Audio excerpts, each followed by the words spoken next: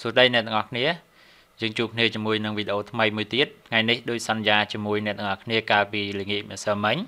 ដែលខ្ញុំបានផុសនៅលើ Facebook page របស់ខ្ញុំថាខ្ញុំនឹងចេញវីដេអូមួយទៀតដែលតាក់ទងទៅនឹងវិធី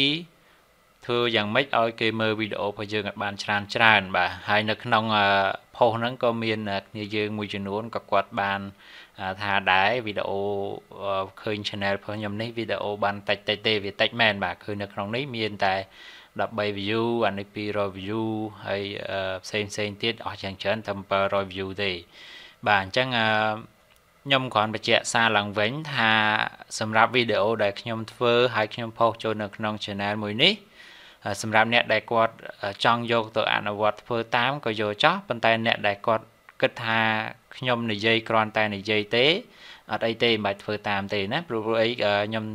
ខ្ញុំផុសចូលក្នុង channel របស់ខ្ញុំហើយខ្ញុំចែករំលែកនេះគឺជាអ្វីដែលខ្ញុំធ្វើដោយខ្លួនឯងហើយខ្ញុំបានលទ្ធផលអញ្ចឹងខ្ញុំចែករំលែកនៅអ្វីដែលខ្ញុំបានជួបប្រទះខ្ញុំមានបទពិសោធន៍ជាមួយនឹងវាហើយអញ្ចឹងបើសម្រាប់អ្នកដែលគាត់អត់ជឿទេគាត់ មើលទៅលើ view ដែលខ្ញុំផុសនៅក្នុង channel នេះអត់អីទេពីព្រោះអី YouTube ខ្ញុំមិនមែនធ្វើតែ channel មួយនេះទេពីព្រោះ channel នេះដូចអ្នកទាំងអស់គ្នាដឹងហើយថាខ្ញុំផុសវីដេអូខ្ញុំខានផុសតាំងពីថ្ងៃទី1ខែ5ឆ្នាំ2018អញ្ចឹងខ្ញុំទៅតែចាប់ដើមផុសវិញថ្ងៃទី14ខែមករានេះទេអញ្ចឹងអឺខ្ញុំមិនដែលរំពឹងថាខ្ញុំបានលុយពី channel មួយនេះទេអញ្ចឹងគ្រាន់តែថាខ្ញុំចង់ចែករំលែកដល់អ្នកទាំងអស់គ្នាពី វិធីសាស្ត្រនៃការធ្វើវីដេអូហើយនឹងចំណេះដឹងមួយចំនួនដែលខ្ញុំមានបទពិសោធន៍ទៅនឹង YouTube ប៉ុណ្ណឹងពីព្រោះអីការដែលយើងរកលុយពី YouTube មិនមែនបើកលុយពីខ្ញុំទេហើយក៏មិនមែនបើកលុយពីនរណាម្នាក់ដែរគឺយើងបើកលុយពីក្រុមហ៊ុន Google បាទក្រុមហ៊ុន Google អញ្ចឹងក្រុមហ៊ុន Google គេនឹងឲ្យលុយផងយើងបើសិនបើយើងបានបង្កើត content ល្អហើយ upload ចូលទៅក្នុង YouTube បាទ ចឹងដូចថ្ងៃមុនខ្ញុំបានបង្ហាញនៅវីដេអូមួយពីវិធីសាស្ត្រនៃការរកលុយធ្វើយ៉ាងម៉េចឲ្យបាន1000ដុល្លារក្នុងមួយខែចឹងថ្ងៃនេះយើងនឹងបន្តតទៅទៅនឹងអាវីដេអូនឹងមួយទៀតគឺយើងត្រូវធ្វើម៉េចដើម្បីឲ្យបាន view ពីព្រោះអីបើសិនបើវីដេអូយើងផុសទៅអត់មានអ្នកមើលទេយើងក៏អត់អាចបាន1000ដុល្លារក្នុងមួយខែដែរពីព្រោះប៉ុន្តែខ្ញុំសូមបញ្ជាក់សារឡើងវិញដែរថាបើសិនបើយើងធ្វើវីដេអូតទៅទៅនឹងវីដេអូខ្មែរដូចជា channel របស់ខ្ញុំដែលខ្ញុំធ្វើនេះ គឺទោះជាយើងបាន view ច្រើនយ៉ាងណាក៏វាភាគតិចណាស់ដែលយើងអាចរកបានរហូតដល់1000ដុល្លារពីព្រោះអីដោយសារតែពាណិជ្ជកម្មនៅស្រុកខ្មែរយើងគឺវាអត់បានថ្លៃដូចនៅបរទេសទេបាទអញ្ចឹងការធ្វើ YouTube គឺយើងត្រូវដាក់ចិត្តធ្វើហើយយើងត្រូវ គិតមើលថាតើយើងធ្វើជាចំណងចំណូលចិត្តរបស់យើងឬក៏យើងធ្វើដើម្បី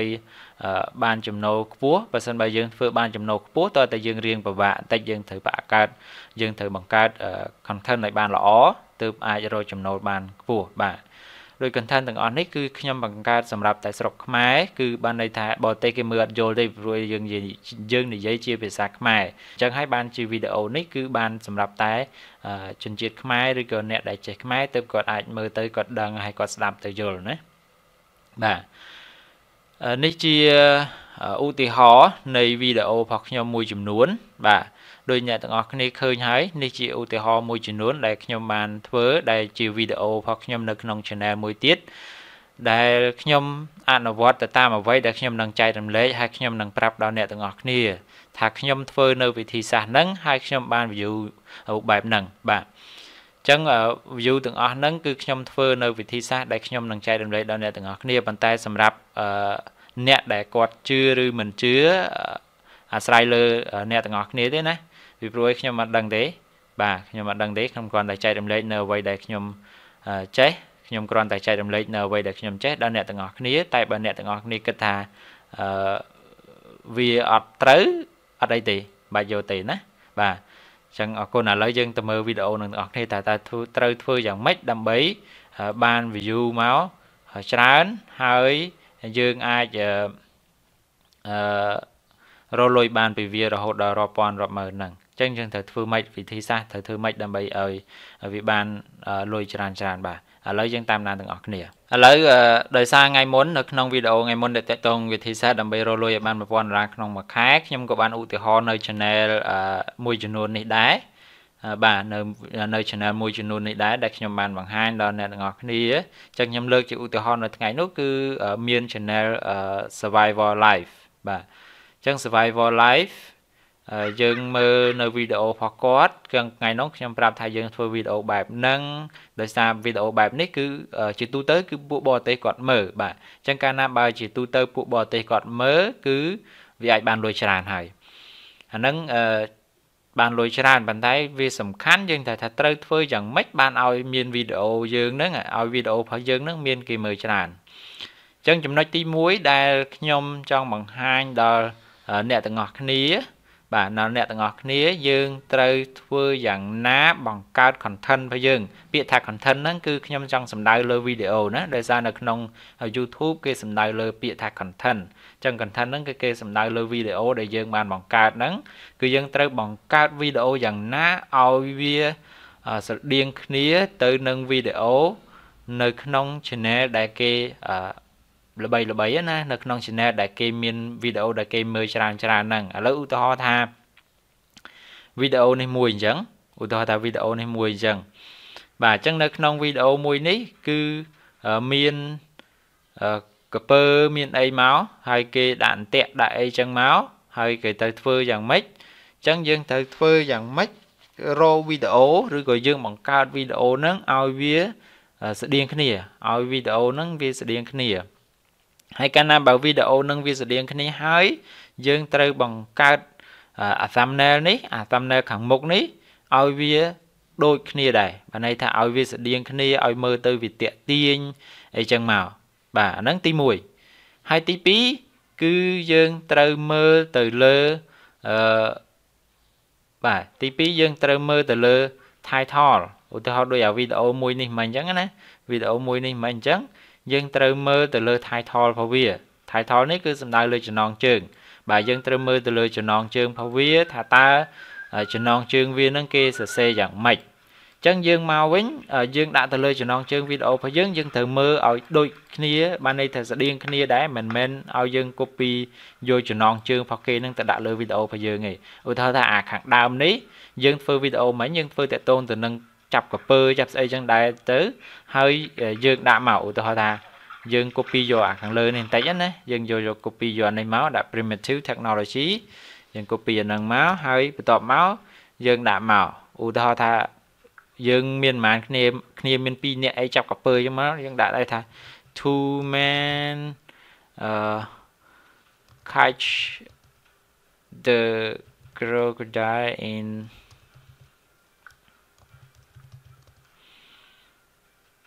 the river អញ្ចឹងមកឧទាហរណ៍ទៅអញ្ចឹងណាបាទឧទាហរណ៍អញ្ចឹងអញ្ចឹងយើងធ្វើម៉េចដាក់ចំណងជើងឲ្យវាអឺ ស្តៀងគ្នាបានន័យថាដាក់ចំណងជើងឲ្យវាស្តៀងគ្នាទៅនឹងចំណងជើងវីដេអូដែលគេល្បីហើយហ្នឹងបន្ទាប់ពីយើងដាក់ចំណងជើងទៅលើវីដេអូដែលគេល្បីហើយហ្នឹងយើងត្រូវរកមើលអានេះខ្ញុំដាក់ថា title អូខេ title ណាបាទ title បន្ទាប់ពីយើងដាក់ title ស្តៀងទៅនឹងវីដេអូរបស់គេហើយយើងត្រូវរកមើល text បាទត្រូវរកមើល text text យើងត្រូវធ្វើម៉េច text យើងត្រូវមានអាកម្មវិធីមួយនេះគឺកម្មវិធី vidIQ បាទអញ្ចឹងវីដេអូក្រោយប្រហែលជាខ្ញុំនឹងបង្ហាញតកតូនទៅនឹងវិធីសាស្ត្រធ្វើយ៉ាងម៉េចដើម្បីយើង install អា vidIQ នេះបាន បាទអញ្ចឹងដើម្បីធ្វើ vidIQ នេះបានអញ្ចឹងអឺបន្ទាប់ពីយើងមានអាកម្មវិធី vidIQ នឹងហើយយើងអាចឃើញ tag របស់គេនេះនៅក្នុងវីដេអូរបស់គេនេះគេមាន tag ហើយអញ្ចឹងយើងគ្រាន់តែចុចលើអាសញ្ញាคนีបនេះមកសញ្ញា paper clip ណា បាទយើងចុចលើអាហ្នឹងមួយមកចុចមកវា copy ហើយអញ្ចឹងវា copy ហើយយើងមកបើកអានេះយើងវិញមកហើយយើងចុច pass វាមកបាទចុច pass វាចូលមក paste វាចូលមកអញ្ចឹងយើងឃើញហើយនេះសុទ្ធតែជា tag ដែលមាននៅក្នុងហ្នឹងអញ្ចឹងយើងគ្រាន់តែ tag កែ tag អាកន្លែងខ្លះមួយចំនួនឲ្យវាស្តៀងឧទាហរណ៍កន្លែងនេះវាខុសគ្នាទៅនឹងចំណងជើងវីដេអូរបស់យើងអញ្ចឹងយើង copy ចំណងជើងវីដេអូរបស់យើងមកមកដាក់ កន្លែងចំណងជើងវីដេអូរបស់គេបន្ទាប់មកអាផ្សេងផ្សេងទៀតយើងដាក់ដូចគ្នាក៏បានដែរ tag ហ្នឹងអញ្ចឹងយើងដាក់ចូលទៅក្នុងវីដេអូរបស់យើងប៉ុន្តែខ្ញុំបញ្ជាក់សារឡើងវិញថាពេលដែលយើង channel ឧទាហរណ៍ថា channel យើងថ្មីណាយើងកុំព្យាយាមប្រើ tag ច្រើនពេកប្រយ័ត្នវីដេអូរបស់យើងคล้ายទៅជា spam វីដេអូ បាទខ្លាយទៅជា spam វីដេអូ បាទនឹងជាជាចំណុចងាយងាយទេដែលអ្នកមួយចំនួនគាត់អត់បានដឹងពីវិធីធ្វើយ៉ាងណាឲ្យវីដេអូរបស់យើងឡើងរ៉ាងពីព្រោះឯកាលណាបើសិនបើយើងដាក់ title ដាក់ tag ហើយវីដេអូសាច់រឿងនៅក្នុងវីដេអូរបស់យើងនឹងស្តៀងគ្នាទៅនឹងវីដេអូនឹងទៀតគឺវាវីដេអូរបស់យើងវានឹងរាំងមកនៅម្ដុំនេះពេលដែលគេមើលវីដេអូមួយនឹងមកវីដេអូរបស់យើងវានឹងលោតមកគិនគិនគ្នានឹងឯង បាទន័យថាលោតមកប្រហែលគ្នាក្បែរក្បែរគ្នានឹងបាទអញ្ចឹងវាលោតមកក្បែរក្បែរគ្នានឹងអញ្ចឹងកាលណាបើវីដេអូរបស់យើងលោតមកក្បែរគ្នាមកហើយគេមើលទៅ thumbnail អាផ្ទាំងខាងមុខវីដេអូយើងមើលទៅតំណងគួរឲ្យតាក់ទាញចង់មើលទៀតគេច្បាស់ជា click មើលនៅលើវីដេអូរបស់យើងហើយបាទដូចអានេះចឹងឃើញទេគេមាន primitive technology ដែរឃើញខាងដើមហ្នឹងមាន primitive technology ហើយខាងក្រោយហ្នឹងគេដាក់ចំណងជើងស្តៀងស្តៀងគ្នាមក ចឹងកាលណាបើគេមើលទៅលើ thumbnail នេះវាតាក់ទាញដែរគេច្បាស់ជាចុចមើលវីដេអូរបស់យើង បាទអាហ្នឹងជាចំណុចពិសេសដែលយើងអាចយកទៅអនុវត្តបានពីព្រោះនេះជាអ្វីដែលខ្ញុំតែងតែធ្វើសម្រាប់វីដេអូរបស់ខ្ញុំហើយខ្ញុំទទួលបានលទ្ធផលដូចអញ្ចឹងមែនបាទហើយមួយទៀតក៏បញ្ជាក់ផងដែរថាវីដេអូរបស់យើង វាមិនមែនបានន័យថា ឡើងយើងដាក់ភ្លាមយើងផុសភ្លាមដាក់ចំណងជើងស្តៀងគេនឹងហើយដាក់ tag ដូចគេនឹងហើយវីដេអូរបស់យើងស្តៀងស្តៀងគេឬបាក់ផែគេដែរហ្នឹងដាក់ទៅភ្លាមវាឡើងភ្លាមវាមិនមែនអញ្ចឹងទេបានន័យថាដំបូង YouTube ធម្មតា channel ថ្មីរបស់យើងវាត្រូវការពេលវេលាដើម្បីឲ្យ channel របស់យើងរែងដែរឡើងដែរមិនមែនបានន័យថាដាក់ភ្លាមឲ្យវាឡើងភ្លាមក៏អត់មិនមែនអញ្ចឹងដែរហើយមួយទៀតគឺវាតកតងទៅនឹងការផុសវីដេអូរបស់យើង ពីព្រោះអី YouTube កាលណាបើសិនបើយើងផុសវីដេអូជារៀងរាល់ថ្ងៃឧទាហរណ៍មួយថ្ងៃផុសបាន2វីដេអូមួយវីដេអូផុសជារៀងរាល់ថ្ងៃទៅ YouTube វានឹងធ្វើឲ្យ channel របស់យើងនឹងរាំងផងដែរមិនមែនបានន័យថាយើងផុសវីដេអូមួយទៅស្រាប់តែស្ងាត់ឈឹងទៅមួយខែពីរខែបានផុសមួយទៀតទៅអាហ្នឹងក៏ទោះជាយើងដាក់ចំណងជើងស្តៀងគេ tag ដូចគេវីដេអូនឹងវាប្រហាក់ប្រហែលគ្នាស្តៀងគ្នាក៏ channel របស់យើងហ្នឹងឬក៏វីដេអូយើងហ្នឹងក៏អត់ងាយរ៉េងដែរវាអត់អត់អាចឡើងបានទេដូចឧទាហរណ៍ដូច channel ខ្ញុំមកស៊ីណាង KH នេះណាដែលខ្ញុំយូរយូរខ្ញុំផុសមួយអញ្ចឹងបានន័យថាវាអត់ងាយរ៉េងអត់ងាយឡើងដែរទេដោយសារតែយើងអត់សូវបានធ្វើវីដេអូផុស YouTube វាឲ្យតម្លៃទៅលើអ្នកដែលផុសវីដេអូចូលទៅក្នុង YouTube ហ្នឹងរៀងរាល់ថ្ងៃឬក៏ញឹកញាប់អញ្ចឹងវាជួយធ្វើឲ្យវីដេអូរបស់យើងហ្នឹង បាន rank និង relate ទៅនឹង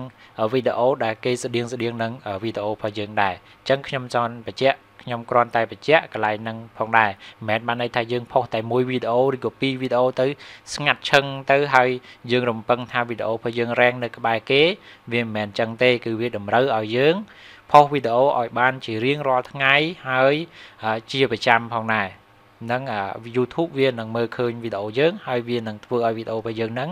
រ៉េងទៅក្បែរវីដេអូអ្នកដែលមានវីដេអូស្តៀងស្តៀងនឹងយើងដែរបាទអញ្ចឹងតែប៉ុណ្ណឹងបាទអរគុណអ្នកទាំងអស់គ្នាដែលតាមដានទស្សនាវីដេអូនៅថ្ងៃនេះអញ្ចឹងថ្ងៃនេះខ្ញុំមានតែប៉ុណ្ណឹងចែករំលែកដល់អ្នកទាំងអស់គ្នាហើយនេះជាវិធីសាស្ត្រដែលខ្ញុំតែងតែអនុវត្តសម្រាប់វីដេអូរបស់ខ្ញុំហើយវាទទួលបានលទ្ធផលដោយអ្វីដែលខ្ញុំបាននិយាយពិតប្រាកដមែនអញ្ចឹងសម្រាប់អ្នកទាំងអស់គ្នាដែលយើងគិតថា អាចគួរតែយកទៅធ្វើក៏យកទៅប៉ុន្តែបើសិនបើយើងគិតថាវាអត់ល្អឬក៏ថាខ្ញុំចេះតែថាទេមិនបាច់យកទេបាទអញ្ចឹងសម្រាប់វីដេអូក្រោយខ្ញុំនឹងបង្ហាញអ្នកទាំងអស់គ្នាទៅនឹងវិធីសាស្ត្រធ្វើយ៉ាងណា ដែលយើងអាចតម្លើង with IQ បាន ហើយសម្រាប់អ្នកដែលចេះហើយអត់អីទេប៉ុន្តែបើសម្រាប់អ្នកដែលមិនចេះគឺអាចរងចាំមើលនៅវីដេអូក្រោយខ្ញុំនឹង ប្រាប់ពីវិធី